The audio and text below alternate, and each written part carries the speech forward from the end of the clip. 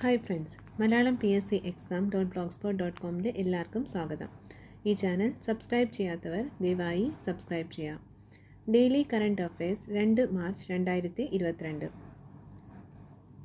രണ്ടായിരത്തി ഇരുപത്തിരണ്ട് ഫെബ്രുവരിയിൽ രാജ്യാന്തര റബ്ബർ പഠന സംഘം ചെയർമാനായി നിയമിതനായ ഇന്ത്യൻ കെ എൻ രാഘവൻ. രണ്ടായിരത്തി ഇരുപത്തിരണ്ട് ഫെബ്രുവരിയിൽ പ്രഖ്യാപിച്ച കേരള റവന്യൂ അവാർഡ്സിൽ മികച്ച കളക്ടറെ തിരഞ്ഞെടുക്കപ്പെട്ടത് തിരുവനന്തപുരം. മികച്ച പാർലമെന്റേറിയന്മാർക്കുള്ള പ്രൈം പോയിന്റ് ഫൗണ്ടേഷൻ നൽകുന്ന സൻസദ് രത്ന പുരസ്കാരം രണ്ടായിരത്തി ഇരുപത്തിരണ്ടിന് അർഹനായ മലയാളികളാണ് കെ എൻ പ്രേംചന്ദ്രനും കെ എൻ രാഗേഷും രണ്ടായിരത്തി ഇരുപത്തിരണ്ട് ഫെബ്രുവരിയിൽ ഇന്ത്യയിൽ ആദ്യമായി സമഗ്ര സാങ്കേതിക പങ്കാളിത്തം കരാറിൽ ഒപ്പുവച്ച രാജ്യം യു എ. രണ്ടായിരത്തി ഇരുപത്തിരണ്ട് ഫെബ്രുവരിയിൽ ഗവേഷകർ പശ്ചിമഘട്ടത്തിൽ നിന്ന് കണ്ടെത്തിയ ശുദ്ധജല ആവാസ വ്യവസ്ഥയിൽ വസിക്കുന്ന പുതിയ ഇനം തവളയാണ് യൂഫിലിക്ടിക്സ് ജലധാര. രണ്ടായിരത്തി ഇരുപത്തിരണ്ട് മാർച്ചിൽ ഇന്ത്യ പങ്കെടുക്കുന്ന യു കെ റോയൽ എയർഫോഴ്സിന്റെ നേതൃത്വത്തിൽ നടക്കുന്ന ബഹുരാഷ്ട്ര വ്യോമാഭ്യാസം കോബ്ര വാരിയർ ട്വന്റി ടു.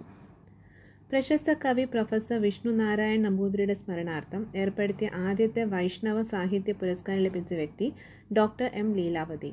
ഒരു ലക്ഷത്തി പതിനൊന്നായിരത്തി നൂറ്റി പതിനൊന്ന് രൂപയാണ് പുരസ്കാര തുക. അടുത്തിടെ മലയാള സാഹിത്യത്തിലെ ക്രൈസ്തവ സഭാ ചരിത്രത്തിലും ശ്രദ്ധേയ വ്യക്തിയാണ് പ്രൊഫസർ മാത്യു ഇലങ്തറ സീറോ മലബാർ സഭയുടെ പരമോന്നത ബഹുമതിയായ സഭാതാരം ലഭിച്ചിട്ടുണ്ട്. കേരളത്തിലെ രണ്ടാമത്തെ സമ്പൂർണ ഡിജിറ്റൽ ജില്ലയായി മാറിയത് കോട്ടയം ആദ്യ ജില്ല തൃശൂർ. അഖിലേന്ത്യ അന്തർ സർവകലാശാല വനിതാ അത്ലറ്റിക്സ് ജേതാക്കൾ മാംഗ്ലൂരാണ്. കാലിക്കറ്റ് സർവകലാശാലയ്ക്ക് രണ്ടാം സ്ഥാനം പഞ്ചാബിലെ ലവി ഫൗണ്ടേഷൻ യൂണിവേഴ്സിറ്റിക്കാണ് മൂന്നാം സ്ഥാനം.